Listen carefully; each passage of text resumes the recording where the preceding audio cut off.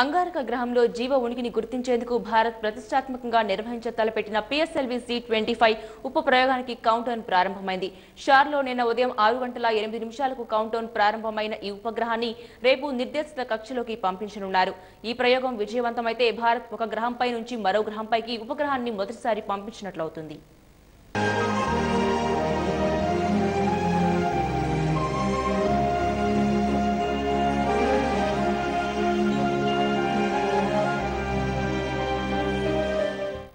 ఇస్రో ఎంతో ప్రతిష్టాత్మకంగా చేపడుతున్న మంగళ్యాన్ ప్రయోగానికి ఇంకా ఒక్కరోజు మాత్రమే సమయం ఉంది.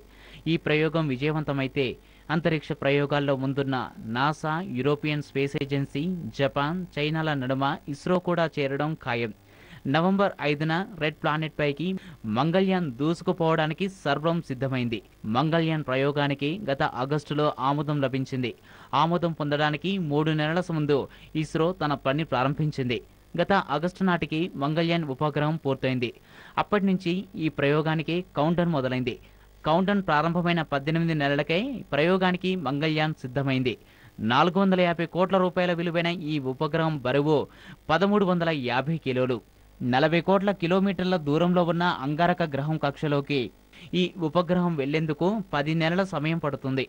అంగారక గ్రహంపైకి ఇతర స్పేస్ ఏజెన్సీలు పంపించిన ఉపగ్రహాలతో పోలిస్తే మంగళ్యాన్ అతి తక్కువ ఖర్చుతో తయారైంది.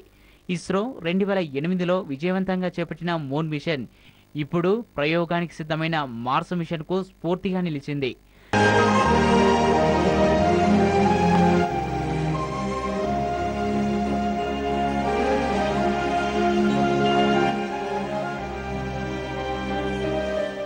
ఖచ్చితమైన ప్రణాళికతో తయారైన మంగళ్యాన్ ప్రయోగం విజయవంతమైతే ఇస్రో అతిపెద్ద లక్ష్యాన్ని సాధించినట్లు అవుతుంది.